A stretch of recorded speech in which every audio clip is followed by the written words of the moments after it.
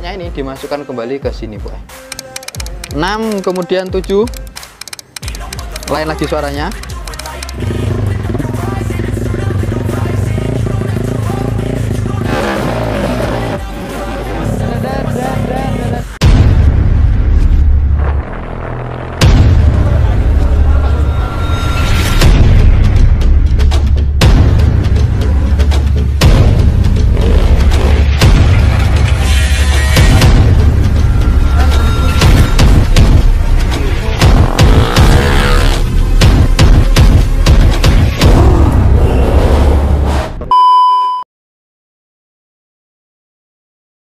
Yo, hello boy, berjumpa lagi dengan saya di Franz sebagai set. Hey, baik kabarnya baik-baik, puji Tuhan kalau baik-baik. Nah, oke okay, boy, jadi pada video kali ini kita akan buat sebuah motor karburator stasioner yang menjadi idol ala-ala timing drum band.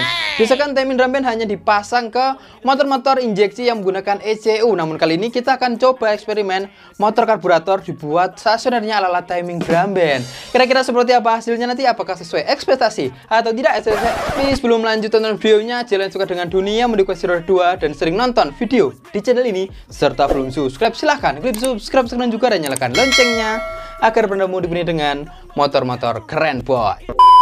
Nah oke okay, tapi sebelum kita lanjut buat videonya Yuk kita bermain game iseng-iseng berada dulu Neng OneXBet Kalau kalian mau registrasi linknya ada di pin komentar. Jangan lupa gunakan kode promoku Franz dengan kode promoku dapatkan bonus deposit pertama sampai dengan 100 dolar boy.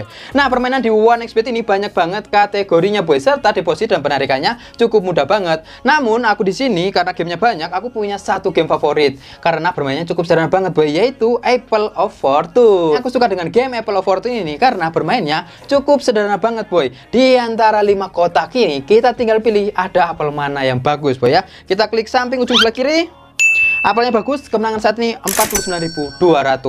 Sekali lagi, kiri lagi dan bagus lagi. Kemenangan saat ini 61.600 boy. Ingat kalau main game seperti ini jangan kemaruk, jangan neko-neko. Cukup 2 sampai 3 kali kemenangan langsung saja ambil kemenangannya boy ya. Oke boy, genepin 3 kali. Sekali lagi kita ambil tengah Apanya bagus, kemenangan saat ini 77.200.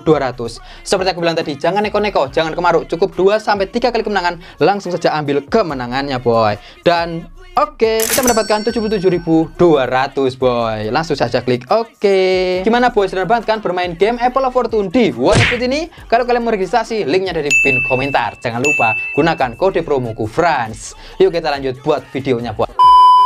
Oke boys, seperti aku bilang tadi, pada video kali ini kita akan bereksperimen ke Tiger JDM. Nah, Tiger JDM ini adalah singkatan namanya dari jeliteng dan manis. Kalau bahasa Indonesianya hitam manis boy. Modifikasinya semuanya full hitam.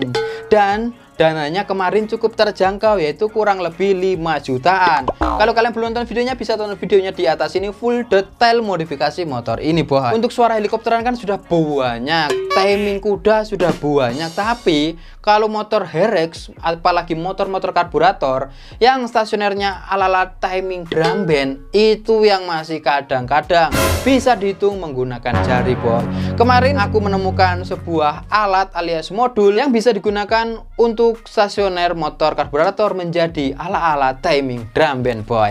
Dan harganya ini cukup terjangkau. Kalian penasaran seperti apa ini isinya? Langsung saja sama-sama kita unboxing. Tapi disclaimer on ini bukan endorse. Ini cuma beli sendiri dan pengalamanku ingin bereksperimen sharing dengan kalian boy. Oke jadi ini kemarin harga harganya itu 200 ribu sekian sekian tambah dengan ongkir ke daerahku jadi 300 ribu boy. Uh. Nggak ada buku panduannya boy. Cuma dos dan packingan bubble wrap seperti ini. Dan ini adalah handmade alias buatan sendiri. Kalau kalian minat linknya nanti tak kasih di deskripsi. Ini kayak gimana modulnya? Oke? Modulnya cuma seperti ini doang boy. Nah kabelnya lumayan panjang banget boy. Oke jadi di sini Fungsi dari modul timing kuda ini adalah mengecoh koilnya untuk bermain listrik sesuai ritme yang diatur oleh modul ini. Modul ini memiliki 9 eh 9 ini 3 ya. memiliki 9 mode suara yaitu kita belum tahu kayak gimana aja karena baru beli ini boy kita cuma bahas sedikit aja dan di sini karena tidak ada buku panduannya kalian bisa lihat di sini kabel merah biasanya itu untuk positif aki dan hitam untuk masa. Ini saklar on off nya saklar on off nya kurang estetik ini kurang sip. Nanti saklar on off nya kita ganti dan ini biasanya kabel hijau seperti ini tuh masuk ke dalam koil boy koil positif karena yang nyeting listriknya nanti modulnya sehingga suaranya bisa deg deg deg deg deg deg deg deg deg deg deg deg deg deg deg eh kurang lebih ada seperti itu atau enggak kita nggak tahu siapa tahu ini ada bonus promo dari Shopee COD boy kemudian di modulnya di sini memiliki dua tombol on off dan di sini on off-nya ada tipe 3 fray ya yang satu ke sini. Kemudian bisa disetting cepat dan lambatnya. Ini sini kayak ada relay gitu boy ya. Jadi listriknya nanti mau dibuat misalnya deng deng deng deng deng deng deng deng deng deng. Kurang lebih seperti itu kalau buat lambat. Kalau buat cepat sekarang di sini nggak ada buku panduannya kita cuma spekulatif saja. Dan apakah ini bisa merusak motor atau tidak ya kita nggak tahu. Kalau memang bisa merusak motor ya nggak apa-apa. Namanya modif kan ya di bahasa kasarnya itu merusak motor gaya boy. Langsung saja yuk kita eksekusi pasang ke Tiger JDM untuk bereksperimen. Kira-kira kayak gimana hasil dan suaranya boy? Lanjut eksekusi karena akinya ada di bawah jok jadi kita buka terlebih dahulu joknya di sini. Setelah itu kita pasang kedua kabelnya. Kabelnya kita pasang yang merah ke positif aki. Bisa juga kalian pasang ke output positif dari kontak. Kalau dari aki di sini walaupun kontak off dia bisa hidup. Kemudian yang hitam langsung saja ke negatif aki ataupun ke masa body boy. Oke jadi cuma masang seperti itu kabel merah dan hitamnya setelah kabel positif dan negatifnya yang hitam ini terpasang ke bagian aki, sekarang kita lanjut untuk pencarian tempat modulnya ini boy. Dan untuk penempatan modulnya ini disarankan ke tempat yang tersembunyi supaya nggak hilang kalau dicuri orang boy.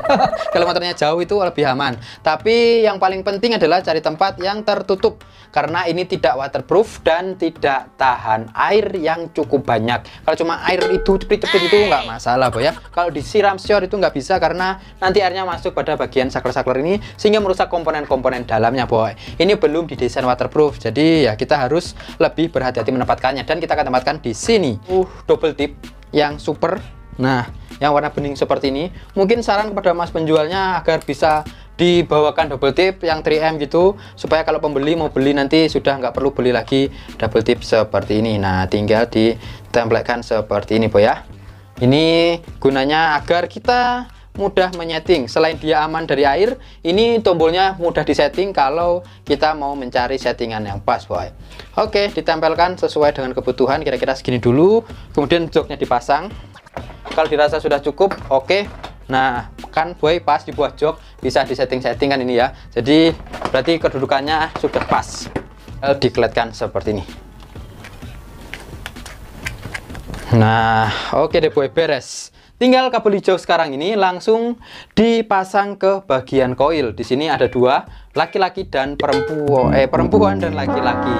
Jadi pasangnya ke positif koil, boy. Koilnya kita buka di bawah tanki. Oh iya, supaya lebih rapi, bagian kabel hijaunya di sini dibungkus saja.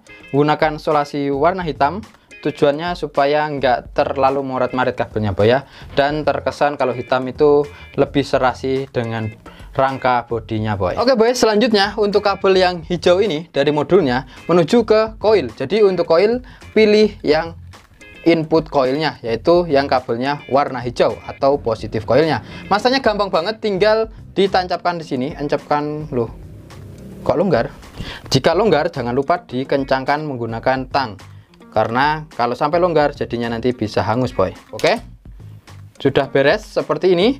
Lalu yang satunya yang kabel ceweknya ini dimasukkan kembali ke sini boy oke.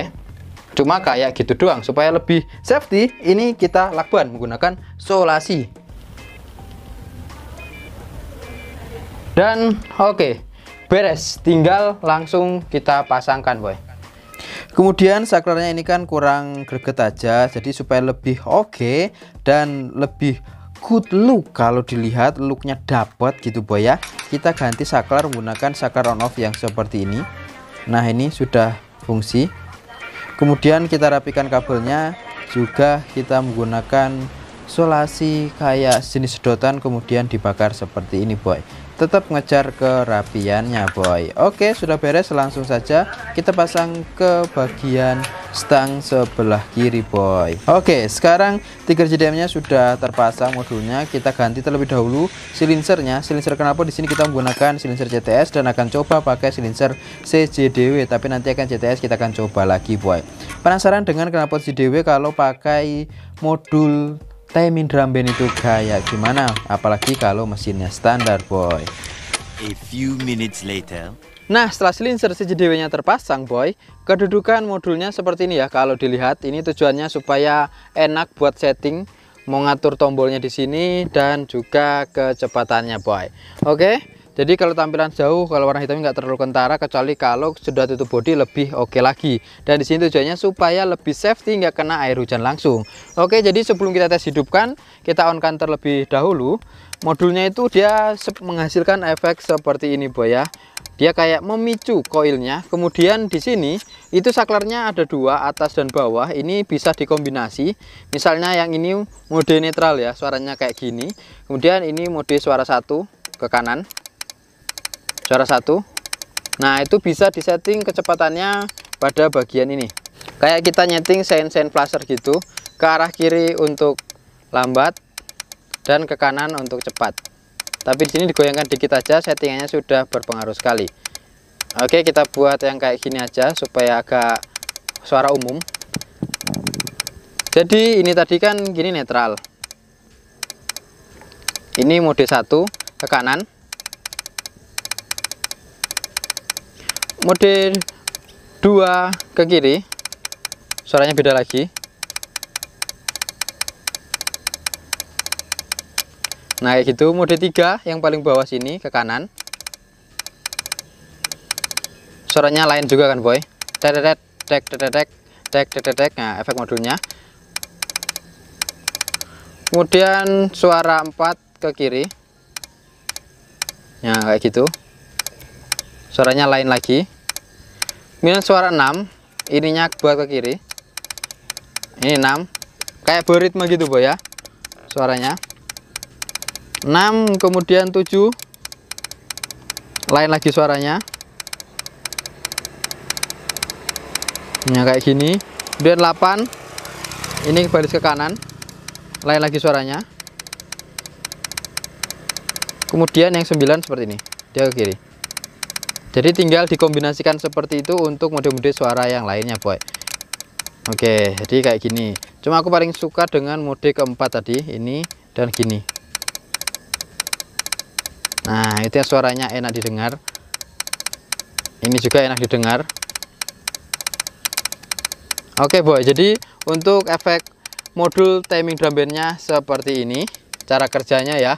Sekarang kita langsung saja tes hidupkan manjalnya sekarang sudah tak sesusah dulu boy. Kalau dulu waktu pertama hidupkannya agak susah oke. okay, baru kontak on kan.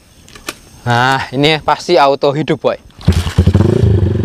Kayak gitu boy dan suaranya kenapa si Dewe itu sangat benar-benar engker dan nyaring banget oke buat seperti ini suara stasionernya gak ada kebocoran kalau digas stasioner Nah, saklar drum bandnya sudah kita pindah ke sini, tinggal ini di klik boy. Nah, suaranya auto berubah seperti ini. Tapi kalau mau mati-mati seperti ini, gasnya harus ditinggikan terlebih dahulu alias stasionernya harus ditinggikan terlebih dahulu. Trigger sendiri, setelan gasnya itu ada di sini. Jadi dirasa tingginya kira-kira seberapa? baru di on kan kembali nah kurang tinggi sih kayaknya ini coba oke ini suaranya kayak timing kuda tinggal setting timing drum boy mode satu boy ya. Ini suara mode satu. Di sini netral semuanya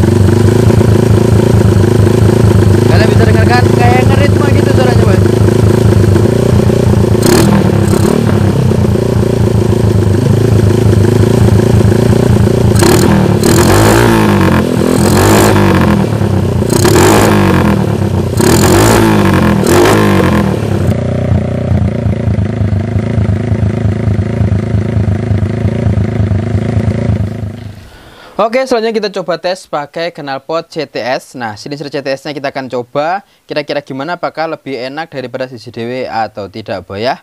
Langsung saja kita cek sound. Sudah disetting sesuai kemauan.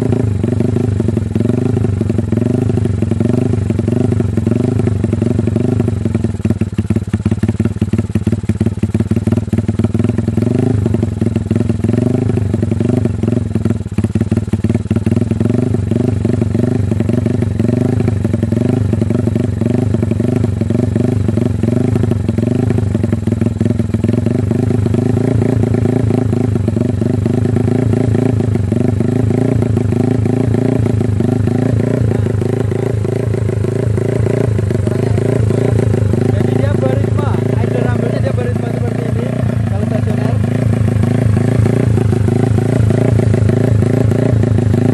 Sama mode mode.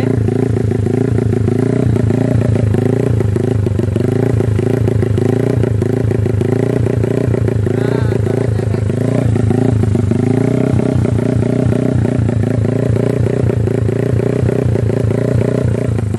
Dia memiliki timing tersendiri, boy ya ini yang suaranya agak sudah disetting ini yang memiliki ritme yang sangat jelas banget boy nah kayak gitu boy ya ini versi keduanya deng deng deng deng jadi tinggal pilih kalian suka dengan idle rumble yang mana boy? Nah kalau mau ganti timingnya seperti tadi tinggal ganti seperti ini. Tapi aku paling suka ini boy.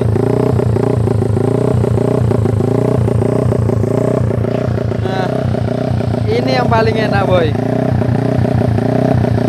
Cukup lumayan. Ini yang paling enak dan yang paling aku suka boy. Kira-kira menurutmu gimana? Enak silinder CTS ini atau silinder CJDW nya boy? Silahkan tinggalkan di komentar nah cuma minusnya mesinnya belum gurapan jadi kayak gini suaranya boy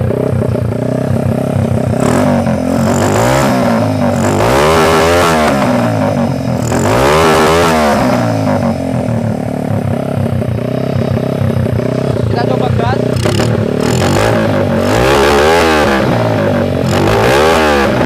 nyebut di berapi boy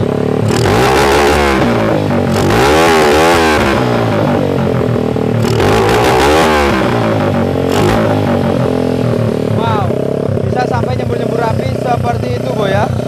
Dan ini sangat enak banget boy, swear. Kalau yang ini memang aku suka banget, tappingnya seperti ini. Suaranya keren, keren banget ini suaranya boy. Sekali lagi ya.